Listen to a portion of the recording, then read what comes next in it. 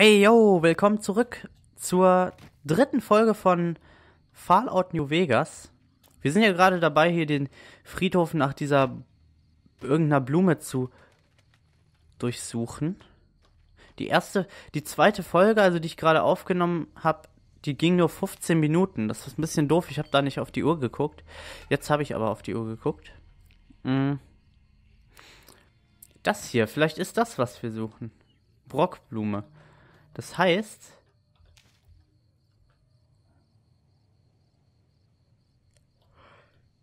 entweder wir finden hier auch noch eine Xanderwurzel oder äh, oder wir müssen echt noch mal zurück zur zur Schule. Das wäre natürlich ein bisschen doof. Ich wette, ich wette, hier gibt es so ein Easter Egg. Irgendwo ist hier so ein Geist, wenn man zu einer bestimmten Zeit da ist oder so. Das ist ja irgendwie immer so.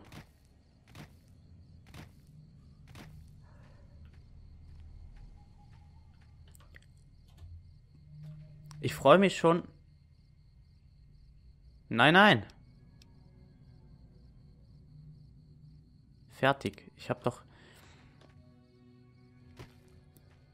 Nee, nee. Ich will so bleiben, wie ich jetzt bin. Ja, ich würde sagen, wir. Wir müssen zurück zur Schule. Voll kacke. Ich habe mich so gefreut. Ah, vielleicht finden wir ja hier alles. Naja. Da müssen wir jetzt. Aber kann man hier. Ah, es ist sowieso Nacht. Jetzt lohnt sich das eh nicht, irgendwas zu verkaufen. Sonst hätte ich gesagt, ich gehe jetzt zum Händler und werde die ganze Scheiße los. Doof, dass man hier nicht schneller rennen kann. Das ist echt.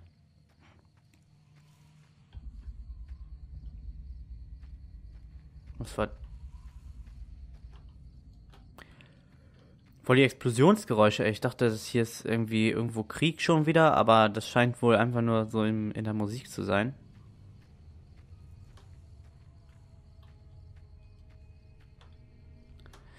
Ja, sonst wäre nämlich die Zielmarkierung auch noch da. Voll die wieder. Uh, uh, voll die widerlichen Büffel, ey.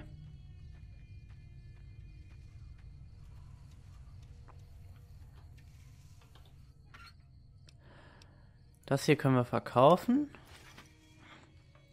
Und die Haarklammern brauche ich eh selbst.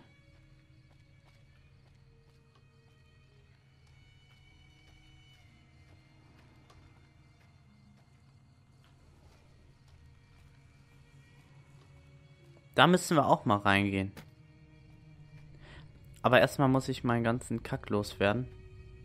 Nö, oder da gehen wir rein, wenn wir in der Schule waren. Ach, da kann man überhaupt nicht rein. Aufmachen kann man das nicht, oder? Irgendwie. Ja, es. Ja. Hm. Das gibt's doch gar nicht. Irgendwo hier muss das doch. Ist das in der Schule oder hier draußen?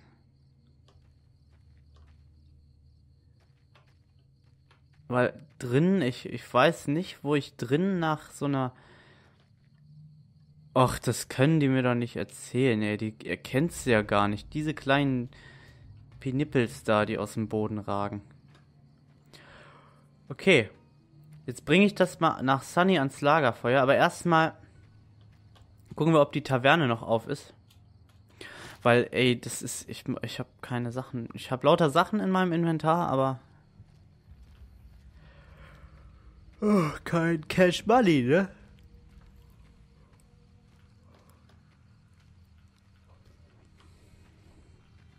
Ja, ich bin gespannt, was wir alles noch erleben werden hier.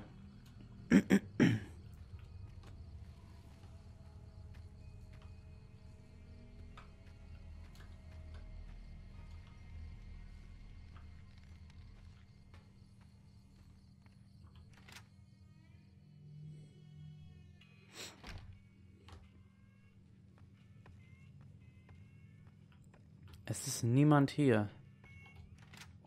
Ist äh, jemand auf dem Scheißhaus?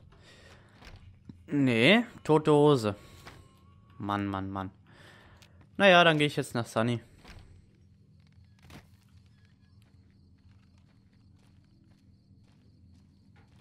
Ich finde diese Atmosphäre von Fallout mega cool.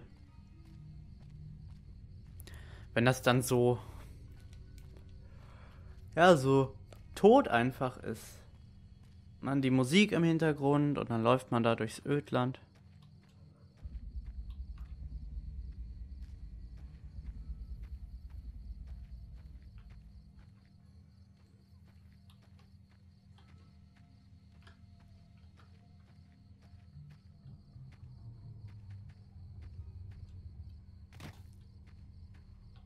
Früher fand ich so Musik in Videospielen, immer wenn dann bei manchen Spielen ist es ja so, ist ja bei Fallout auch so, dass dann die Musik sich ändert, wenn Feinde kommen. Und früher habe ich mir dann immer voll in die Hose geschissen, als ich noch so richtig klein war. Und fand das voll horrormäßig, wenn dann so eine Musik gekommen ist. It's Serious Sam, das weiß ich auch noch. Das habe ich dann gezockt. Ähm, The Second Encounter. Die Leichen hier. Habt ihr das gehört?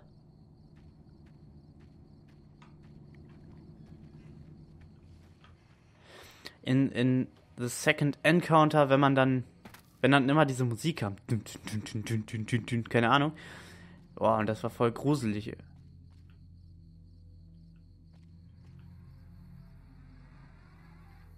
Ey, was denn das, Alter? Boah, sowas ist gruselig, ey. Ich wette, hier ist irgendwas.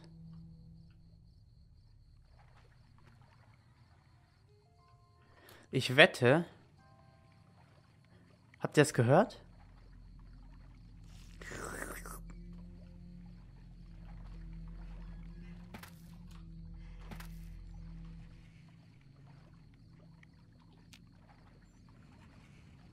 Boah. Oh mein Gott.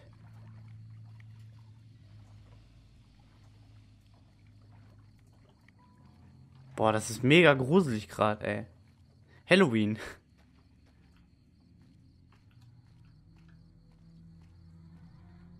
Schon wieder.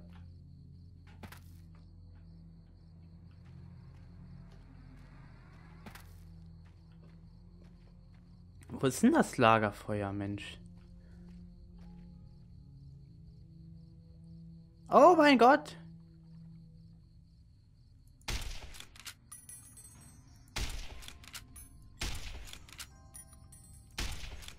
Hä? Alter, kratzt doch jetzt ab, Mann.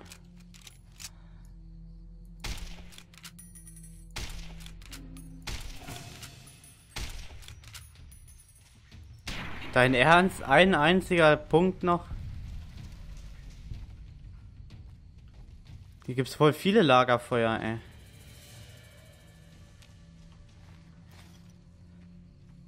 Was ist denn hier?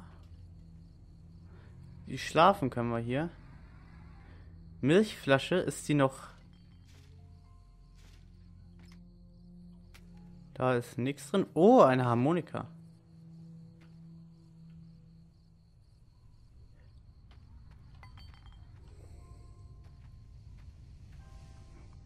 Dann wollen wir mal zu äh, Sunny gehen und nach Cheyenne. AKA Mr. Doggy. Mrs. Doggy. Zeigen Sie mir mal, was Sie haben. Ja, das sollte hinkommen. Gut hinkommen. In Ordnung. Wir werden was zusammenbrauen, das die Leute auf der Walz Heilpulver nennen. Uh, Heilpulver, hm? Das wird ja eine lustige Angelegenheit.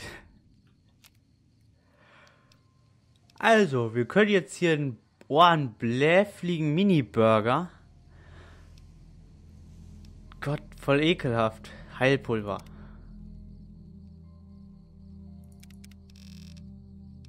Brrr. Brrr. Was soll ich denn jetzt? Ach so, das wird wird das jetzt alles hergestellt? Ah, Heilpulver hinzugefügt. Ah, so funktioniert das also. Dann machen wir hier unsere Gecko-Steaks auch mal und Blähfliegen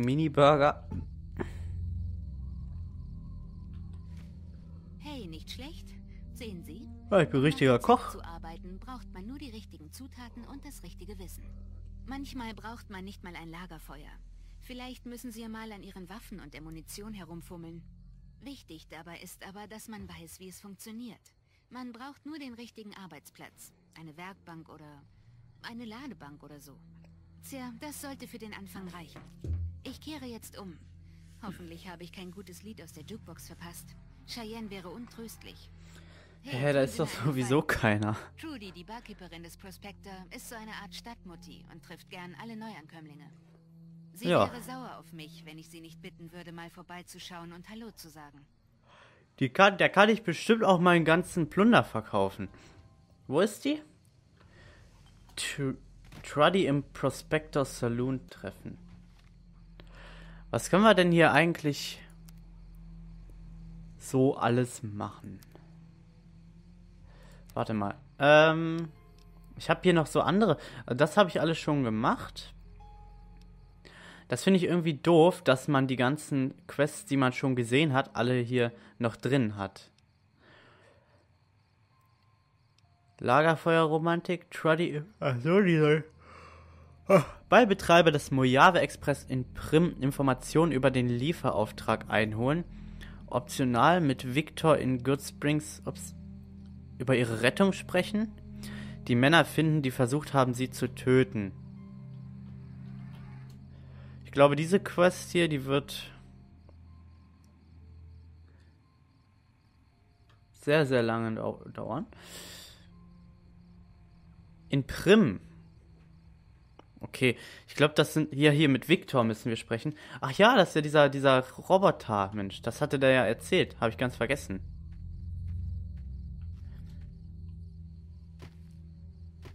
Kann man hier irgendwie sonst noch was finden? Ah, oh, voll laut.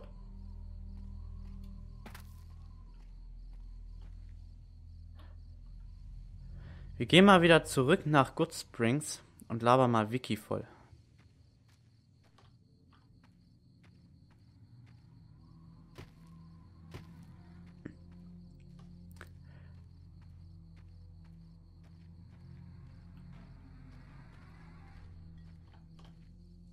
Ich wette, je lauter das wird, desto näher sind wir an der Quelle von dem Geräusch. Dann sehen wir bestimmt irgendwie so einen Geist. Weil Fallout, Bethesda machen ja auch gerne so Easter Eggs, so wie Rockstar Games auch.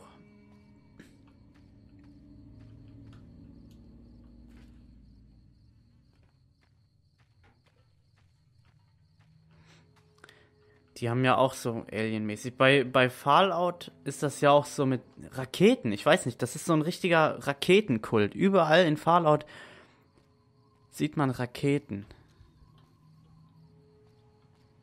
Und es, es kommt auch in jedem Fallout eine Rakete vor. Guck mal, ein Spielplatz. Und irgendwie. Ich glaube, dann muss man warten, bis Tag ist, bis man in der Taverne wen antrifft.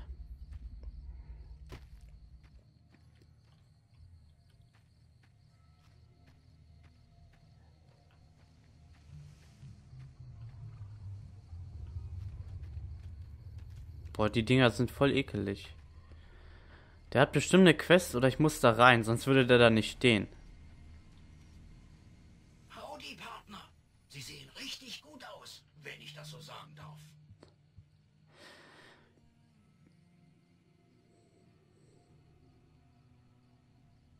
Danke, dass du mich aus meinem Grab ausgegraben hast. Keine Ursache. Ich bin immer zur Stelle, wenn ein Fremder in Not ist. Wie hast du mich gefunden? Während eines Abendspaziergangs hörte ich Geräusche vom alten Gottesacker. Ich sah ein paar Gottesacker. Also hielt ich mich bedeckt. Als sie weg waren, habe ich nachgeschaut, ob sie noch leben. Das taten sie. Also schleppte ich sie so schnell es ging zum Dock. So einen Roboter habe ich noch nie gesehen. Ich bin ein Securitron, Rocco Sicherheitsmodell 2060B. Wenn Sie mal einem meiner Brüder begegnen, können Sie ihm Howdy vom Victor ausrichten. Howdy. Auf Wiedersehen. Und jetzt, und jetzt verpiss dich da. Da kann man rein sogar. Victor stand nicht einmal im Weg. Ich kann das einfach alles hier klauen. Oh, oh, oh, guck mal, die ist voll viel wert. Und ich kann nichts mehr tragen. Wow, oh, cool. Loot, endlich mal was hier. Oh, wir haben hier schon die ganze Zeit Loot gefunden. Äh. Ich guck gleich mal.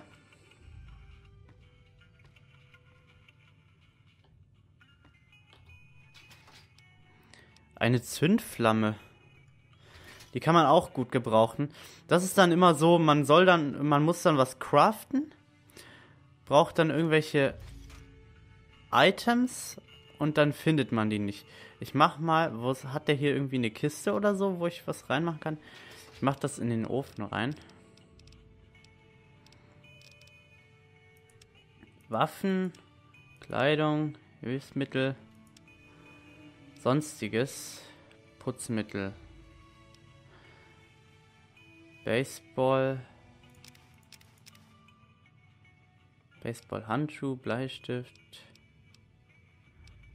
Druck, Druckkopf, Druckkopftopf, Kochtopf, alles teuer. Finanzenklemmbrett, ey, ganz ehrlich. Jetzt kann ich nichts mehr tragen. Aber Howdy, Partner. Gleich geht's erstmal nach hier die ganze Scheiße verkaufen. Ich guck mal hier, vielleicht kann ich ja mal ein bisschen Klamotten hier an. Meine Klamotten wechseln. Kleidung. Kleidung kann auch aus ganz verschiedenen Ausrüstungsarten bestehen. Angefangen beim Hemd und Hose über Panzerung bis hin zu Sonnenbrillen und Hüten. SW. Einige Kleidung gewährt dem Träger eine Schadensschwelle. SW. Die Schadensschwelle ergibt sich dabei aus der Summe der Schadensschwellen der ausgerüsteten Kleidung plus etwaigen Boni durch Extras oder Drogen. SW wird dabei direkt vom erlittenen Schaden abgezogen. Eine höhere SW bietet daher besseren Schutz. Auch, auch wenn ein kleiner Teil des Schadens selbst den dicksten Panzer durchschlägt, ist eine, eine hohe SW immer nützlich. ZST. Der Zustand von Kleidung, Zustand, bestimmt, wie hoch der gebotene Schutz ist. Es reicht aus, Kleidung beim Kleidung bei einem Zustand von über 50% zu halten. Sie bietet schon dann den maximalen Schutz. Okay, gut zu wissen. Leicht, mittel, schwer. Mittlere und schwere Kleidung verlangsamt Charaktere, wenn sie ausgerüstet wird. Reparieren. Diese Option öffnet das Reparieren-Menü, wo man Kleidung durch das Ausschlachten ähnlicher Gegenstände reparieren kann. Ja, jetzt haben wir was gelernt. Den setzen wir uns auf. Das hat noch einen super Zustand. Äh, Nahkampfwaffen plus 2, Sprache plus 2. Was ist wahr? Oh, warte, wahr plus 1. Wahr plus 1. Der ist aber viel weniger wert als der. Spielerhut.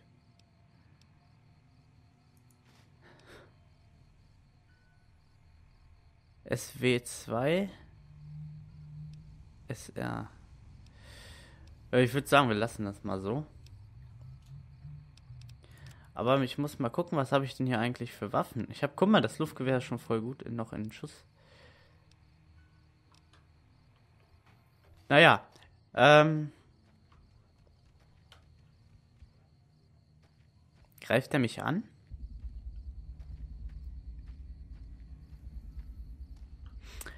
Dann gehen wir mal zum Saloon und ähm, verkaufen unseren ganzen Schrott, den wir nicht mehr brauchen.